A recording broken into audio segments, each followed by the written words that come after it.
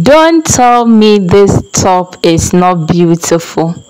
Just within 30 minutes, you should be able to get or do one for yourself. So you are welcome back to my channel. We are making this Ankara top with only two yards of fabric. Your you need your tape measure, scissors, ruler and your tailor's chalk, okay? We want to use all the two yards to fold.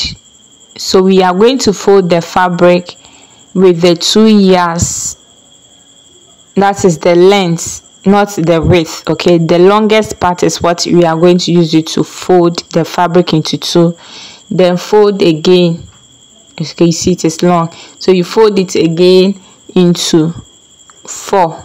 The second part making four. Then iron it nicely iron it. After ironing it the measurements you are going to use for the project is your waist your hip and the sleeve length. So to input your sleeve and the measurement you are going to take the tape measure from your center back to your sleeve where you want the sleeve to be. We are cutting both the back and the front together. So I've I'm measuring my 26 down. I want to input my shoulder measurement that is 7 inches.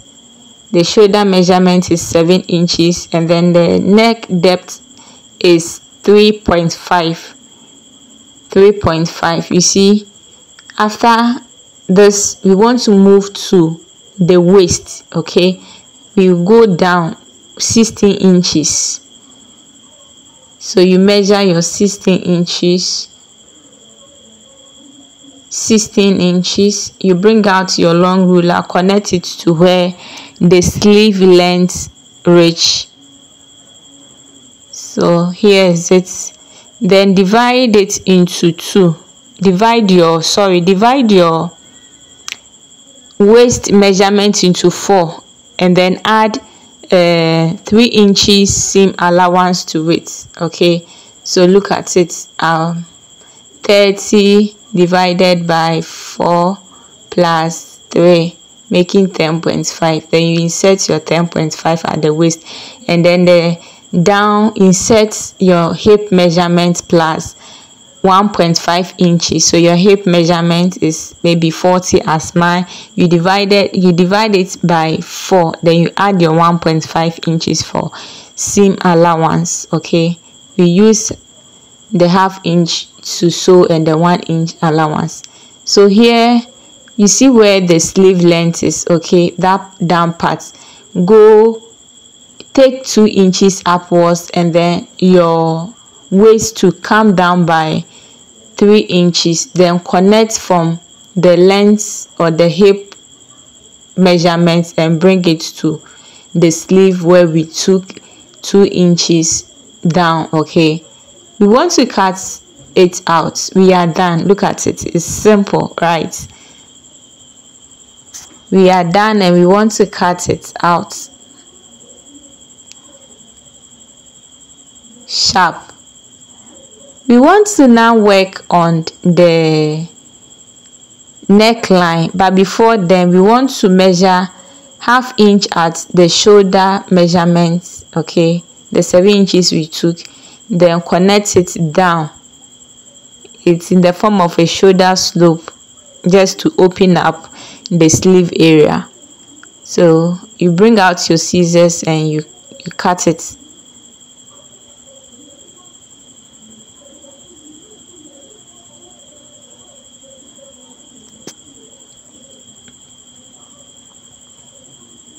i'm done cutting. Please you want to notch that place before we open the fabric. Notch that seven inches place. Notch it. Open the fabric before we open that area and then slant our neckline. You see it's it's in the form of slanted form. So here we want to start with the neckline so you decide where you want it to be slide from from the uh, right or the left. So we are measuring our 3.5 from the notch area okay? And then the middle part to 3.5 as you know. Then you connect it from this place. I told you one place is lined so look at it so you see the other side of it it's lines okay? We didn't measure any 3.5 there. Only this part and the other part is where we measure 3.5 so cut it out.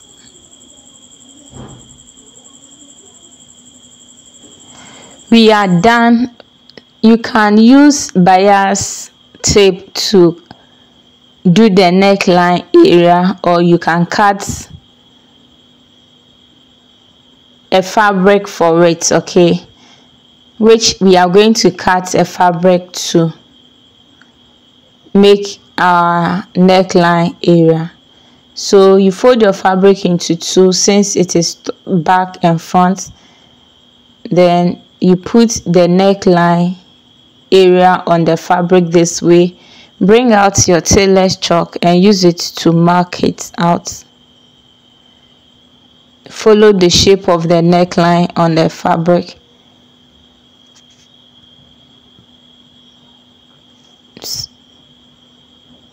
You want to come down and measure 4 inches all round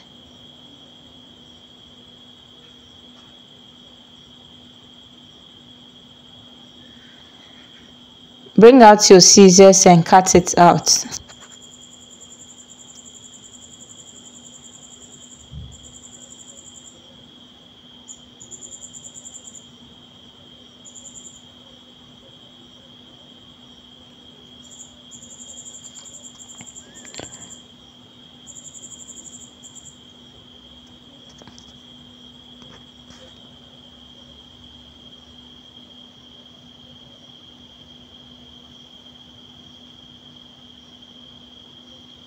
We are done. So here's our two interfacing so you just put the right side facing the right side of your top. Then you sew all around half inch okay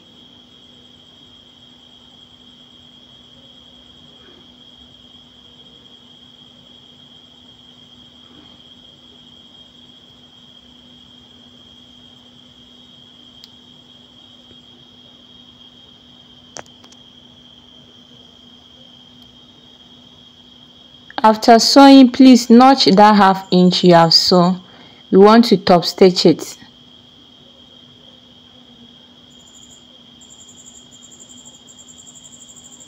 So top stitch it before you flip it on the inside or the wrong part of the top. Let's go to our ironing table. I did the same for the second fabric. So we are done and we want to use this uh, small glue stiff okay to insert in between the interfacing so that it will hold the fabric together and the interface will not be coming up around our neck. So i did the same thing for the back too bring the two fabrics together and then put the front side okay the right side right side facing each other go and connect the shoulder to shoulder.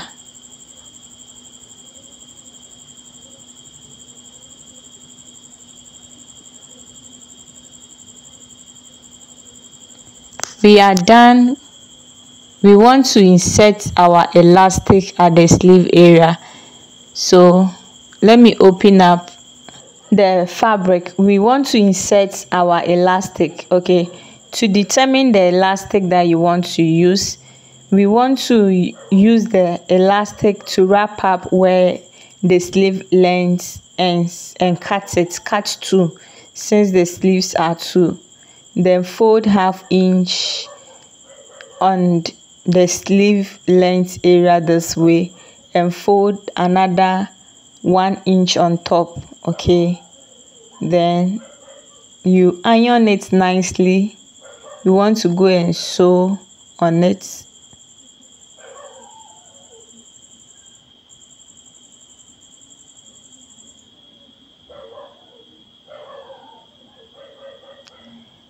After sewing bring out your safety pin the elastic that you have cut.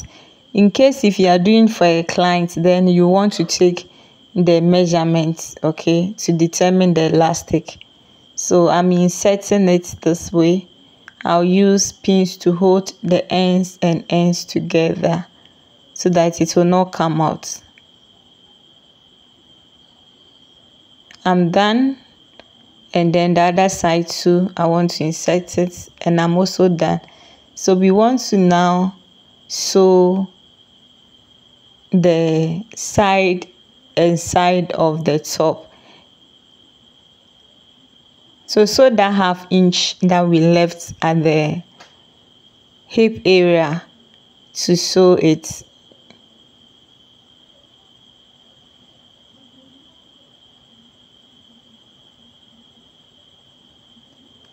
and guess what? We are done. Let me put it on the dummy for you to see. If you don't understand anything you let me know in the comment section. If you need clarification on something i am waiting for you in the comment section. Don't hesitate to do that.